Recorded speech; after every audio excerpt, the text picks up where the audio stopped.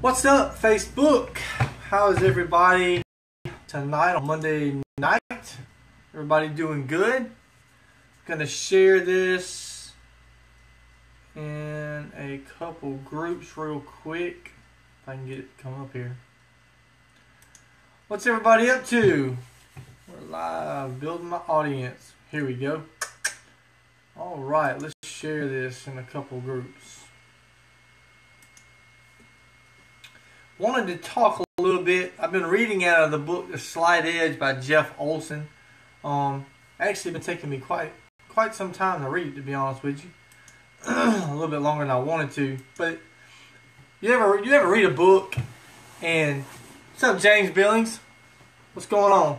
You ever read a book and you know yeah, you can fly through the book, but you don't get everything out of the book that you really want. So that's kind of what I've been doing with this one is I've been kind of just reading it really slow because I'll read a chapter and a lot of times I just go back through and I read it again because there's so many nuggets inside of this book and the path to mastery is one of the is one of the things that I wanted to talk about tonight that I just got done reading this chapter just towards the very end of the book but I felt like it was very, uh, very important, and I wanted to to share it a little bit with everybody, and hopefully it'll bless, if not anything, just one person. So uh, let me uh, let me share this in a couple groups real quick.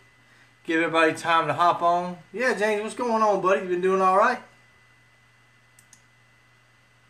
Thanks for popping on. Thanks for coming in and seeing me for a second, sharing a little bit of your time with me. Come on. There we go. It's not wanting to work tonight. It's being grumpy. it's being grumpy. Cool. So there's uh there's actually four powers that are talked about in this book that will help you on the path to mastery. And so I wanted to um, kind of go through and just discuss a few of them and and um path to mastery. Let me write this one more time. and then we'll get your thoughts at the very end and tell me what you think. Because the very first one that we're going to talk about tonight is momentum. And if anybody's ever read Darren Hardy's book, uh, um, The Compound Effect, he refers to momentum as Big Mo, right? And, and what momentum is. And that's kind of the one thing that he talks about in his book. So when you pop on, say, hey, what's up? Let me know you're watching. Let me know you're here. And, uh, so I can shout you out, give you a shout out. How's your business? Business is good, man. Business has been fantastic ever since I left Live the Dream, man. I've had a lot of, lot of different things going on, and I hired a coach and um, doing some things with the coaching and starting to get results uh, that I've been looking for for the last year, and things are good, man. Things are real good. How about you, man? How you been? What you been up to? Jesse Black. What's going on, Jesse? Thanks for watching, Jesse. Thanks for popping in. All right, so let me uh, let me share this one more time and do this on my fan page as well. Nope. And then I'm gonna go ahead and get started. We'll go ahead and share these four powers that we all have. Got too many fan pages. Let me share this, and there we go. Okay, I'm going to probably read a little bit out of this book as well, just because I could try to talk about it, but the book actually um, is going to describe what I, the message and the point that I actually want to get across to you probably a little bit better. But in his book, The Slight Edge, Jeff Olson talks about there's four allies that, that you have. Working man, it's been good. He talks about four allies that you have at your disposal. And so I'm going to read just a little piece of this little chapter. He says, The slight edge has many faces, all of them valuable partners in your pursuit of your fondest aspirations. On your path of mastery onto the success curve, you are not alone. You have powerful allies at your disposal. Four slight edge forces that once you recognize them in your life, you can harness in the pursuit of your dreams like four wild horses all harnessed to one single chariot. There are momentum, completion, reflection, and celebration. And so we're going to talk. Um, I left MySpace. I never had a MySpace, man. he um. So the first one is you talk about momentum, and and what is momentum? You know, a lot of people when they start online with a business or they start anything in their life, they take small daily action steps, and those little daily action steps get you started, right? And a lot of times, it takes a lot of those steps to get you to a place where you have momentum, right? It takes a lot of it. It's kind of like a train, right? A train, it takes forever for that train to get going. But once that train gets going, that train has momentum and it's a very hard thing to stop. It takes a long time to get a train to stop. Why is that? Because of momentum. Same thing happens in your business. If you pick a strategy, whether it be Facebook, whether it be Instagram, whatever the case may be, whether it be blogging, videos, doesn't even matter, okay? It doesn't really matter what strategy you pick when you build a business. Here's the deal. Pick a strategy. If you pick that strategy, excuse me, pick that strategy and do it every single day. Small daily action steps every single day. That doesn't mean you take Saturday and Sunday off. That means you work every single day. Small daily action steps. So if it's videos, and say you want to do uh, Facebook Live, for instance, since I'm doing a Facebook Live, do a Facebook Live every single day. You don't have to do 10 of them. Do a Facebook Live every single day. The thing about Facebook Live, and I totally recommend it if if you're not totally scared to get in front of a camera, is Facebook Live. If you do it, Facebook loves you, right? You get a little bit extra love. You get the reach, right? Facebook spreads your stuff out way across Facebook rather than a regular uploaded video is not going to get quite the reach that a Facebook Live will, right? So pick a strategy and do it every single day. Once you do that, you're going to pick up momentum. What Big Mo, like big, like Darren Hardy talks about, Big Mo can be your best friend. Okay, momentum can be your best friend in your business. Yeah, there is YouTube lives as well. Yep, I'm um I'm still I still haven't quite got on YouTube live, but um I'm probably gonna get me another device so I can go ahead and get two of them going. but you have to get momentum in your business. Once you get momentum started in your business, it's going to be really hard to stop, right? That's when the leads will start flowing. That's when the sales start popping in because you have momentum. You have momentum. You have a daily routine every single day and it's hard to stop momentum. It's kind of like the story between the tortoise and the hare. You know, who won the race? You know, they say steady won the race, but it really wasn't steady, it was momentum. That tortoise had momentum. He got going and just never stopped. So steady won the race, right? He was steady, steady pace, just constantly going, going and going and going. And because he did that and didn't stop, he was able to win the race. See, here's the thing.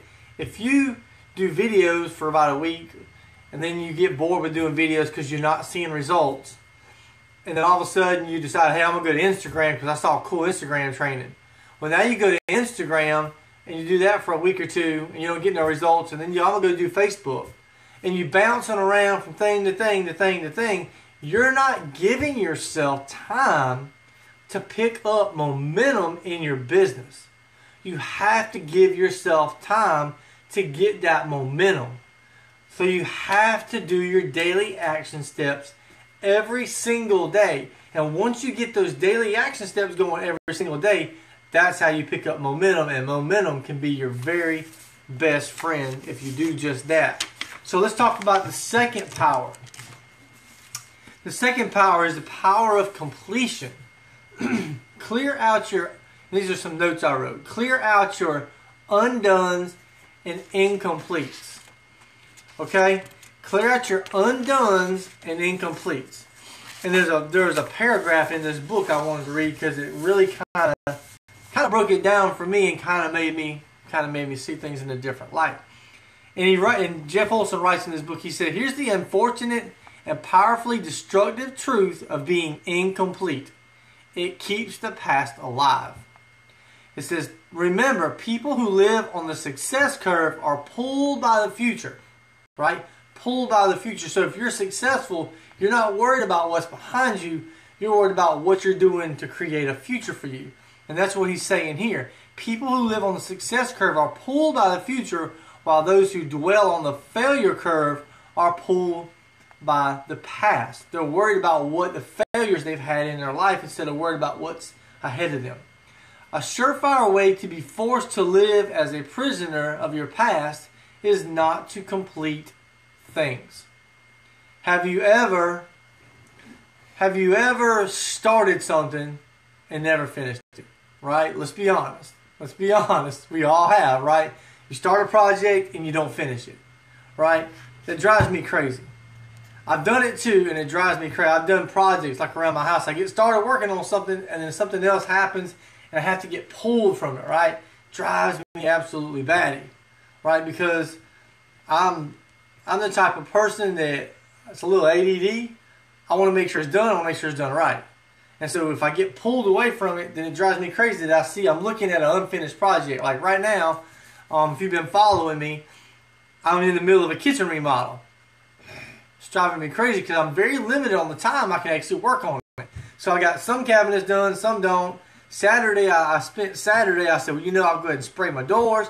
Now my, my sprayer is not working, so my paint sprayer. So I went and bought a new one. I was like, crap on it. I'm going to go buy me a new one. I went and bought a new paint sprayer. It's not working. So I don't know if I got a paint issue, compressor issue, but I got issues, right? So I was uh, like frustrated because I spent four hours and got nothing done. And that drives me crazy. It was like a waste of my day because I have other things I could have been doing. Completing things. Make sure you complete your tasks. Complete things it's not easy to do all the times to complete things, right? A lot of times things pop up. Things happen in your life. What's up, Noel? Thanks for popping in, man. You have to complete things though. If you start a project, be sure to finish your projects. Be sure to finish them. Because the thing about it is, the power of completion is one of the powers that you have. If you if you're able to complete tasks, that's going to be one power you have on the road to being to mastery. Excuse me. Let me give me a drink of water. Let's talk about the third one. That's the power of reflection.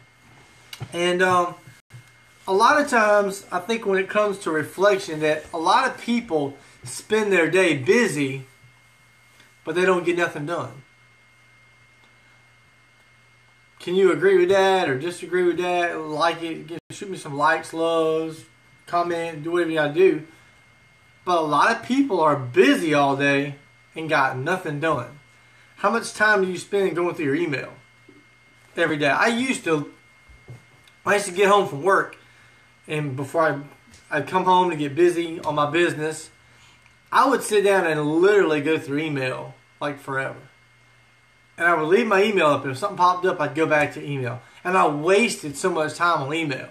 And so now I'm to a point, it's sad to say, but I probably only go really actually through my email probably three or four times a week. I'll glance at it, but if I don't see nothing that really catches my eye, I'm not even gonna mess with it. You know, I'm just I probably I probably shouldn't do that, but I, I hate wasting my time looking at email. I hate it. I got to a point because I was wasting so much time that I could have been doing productive things for my business, but instead I'm over here messing with email, you know, and I've gotten to a point where I don't leave Facebook up. If I'm working on, if I'm doing slides for a webinar, like I was doing slides for a webinar earlier that I'm doing tomorrow night, I had to shut all that stuff off because you get so distracted. But we're talking about the power of reflection. A lot of people are busy doing absolutely nothing. And it, he, he wrote in his book, I want to read this real quick if I can find it. He says, he says, in my business, I often see people that make the mistake of thinking they are being productive because they are being busy. He said, being productive and being busy are not necessarily the same thing. Doing things won't create success. Doing the right things will. And if you're doing the wrong things, doing more of them won't increase your odds of success.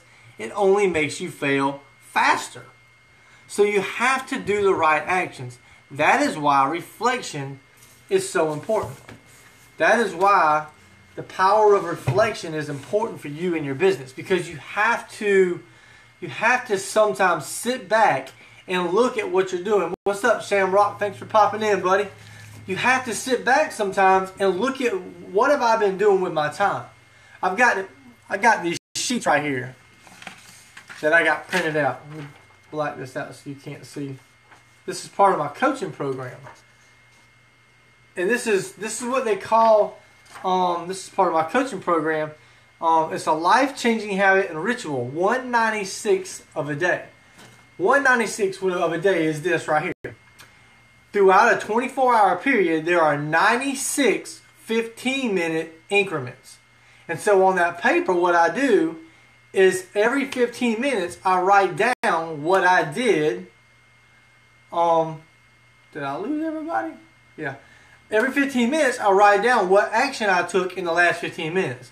Now, you talk about hard. That's it's hard. It's really. I, the first week, I was just like crazy, right?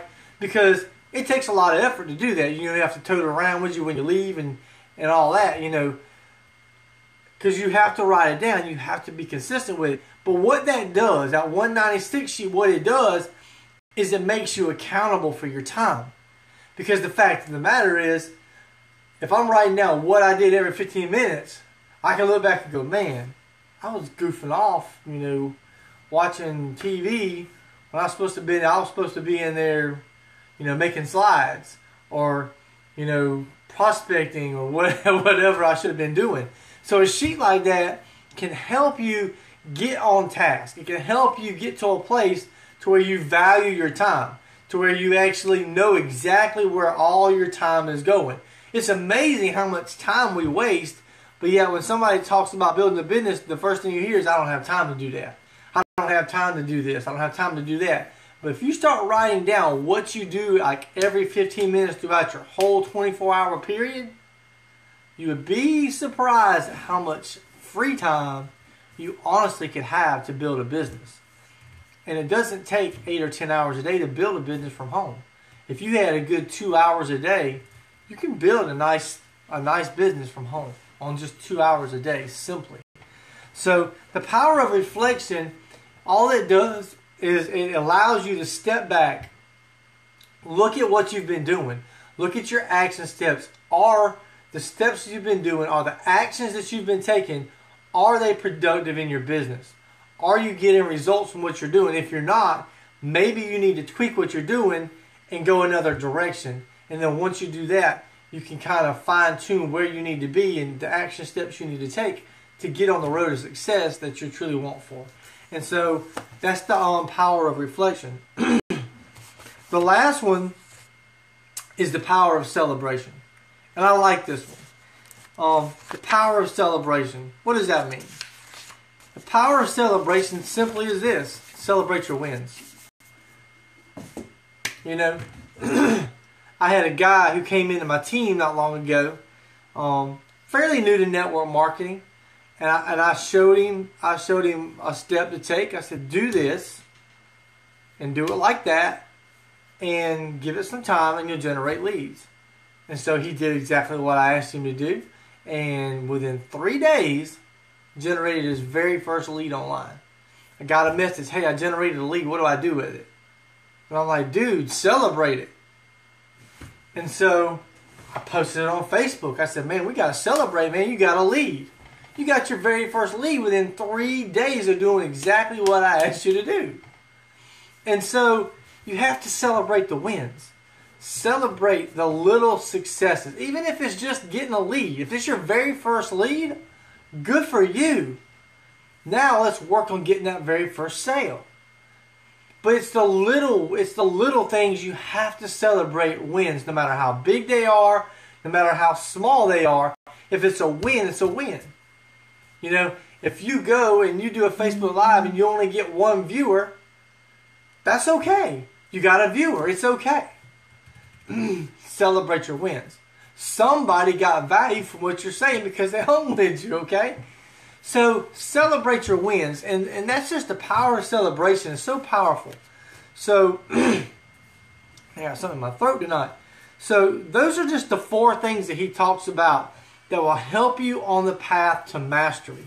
He talks about these four steps, these four things that are going to help you create success in your life and in your business and whatever it is you're trying to do. I just want to go back through one more time and go through them. And the first one is the power of momentum.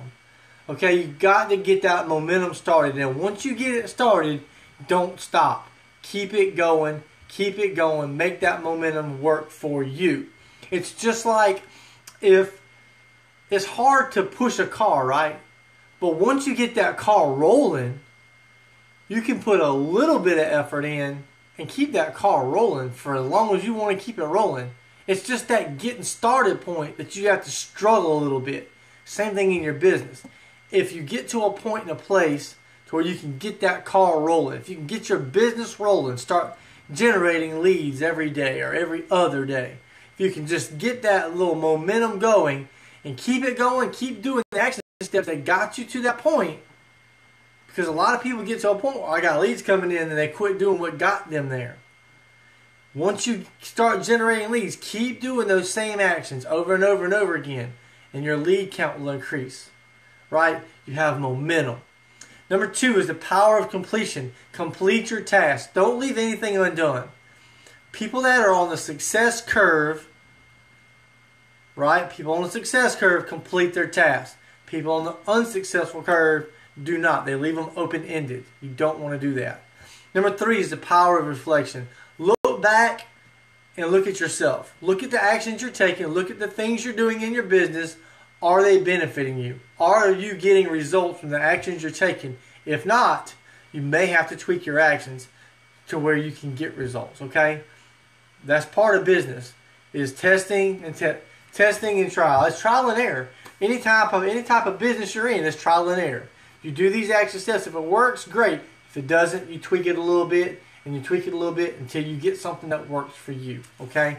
The last one is the power of celebration. Celebrate your wins. Celebrate the things in life that, that you have successes in. Everybody's going to have some sort of success at some time or another. When you do, celebrate it. Pat yourself on the back. It's okay to do that. It's definitely okay to pat yourself on the back and celebrate your wins. So, guys, hope you got some value from this today. If you did, please like it, comment, share with a teammate, share it all over Facebook, tag tag your friends with it. Look here, guys, I'm actually going to be doing a webinar tomorrow night at 9 o'clock p.m. Eastern Standard Time. I'm going to be doing some Facebook prospecting and recruiting. I'm going to give you some really good tips on how to effectively approach people on Facebook, how to communicate with people, I'm going to be giving some scripts out um, for like the very first message. Like a lot of people get stuck on what do I say when I prospect someone? What's the first message to get them to respond back to me? I'm going to help you out with that tomorrow. I'm going to give you some scripts and I'm also going to give you six questions you can ask to close a prospect out. Okay, to close them out, six questions that are going to help you go through that a little more smoothly to where you don't feel like you're you're pushing your, your prospect away, okay? Because we don't want to do that. We want to attract those people to us. So tomorrow I'm going to be doing some Facebook prospecting and recruiting training tomorrow at 9 o'clock. If you want to get on that free webinar, there's nothing for sale tomorrow. Nothing but straight content. Nothing but straight content. Nothing for sale on this webinar. I just want to help somebody out that may be struggling in their prospecting on Facebook. And I know there's a, a ton of people. I used to struggle you might as well just shot me in the head. I used to hate prospecting on Facebook. But once I learned how to effectively do it, once my mentor really sat me down and said, This is how you do it, Mike. And I started getting results. It really is not that hard. It really isn't that bad. So I just want to share that with, with you guys tomorrow night at 9 o'clock. If you want to get registered for it, it's a free webinar. Go to mikewalkersblog.com forward slash webinar. That's mikewalkersblog.com forward slash webinar. I'll put the link in the comments below so you can just click it and go straight there and get registered. I do have limited seating, so make sure you get in early and get registered tonight for the webinar tomorrow night at 9 o'clock. Guys, I hope y'all have a wonderful night tonight. Take care, and be blessed. Shamrock, I miss talking to you, man. We need to hook up sometime and talk. We need to chat. So anyway, guys, take care, and be blessed, guys. And until the next time, have a good night.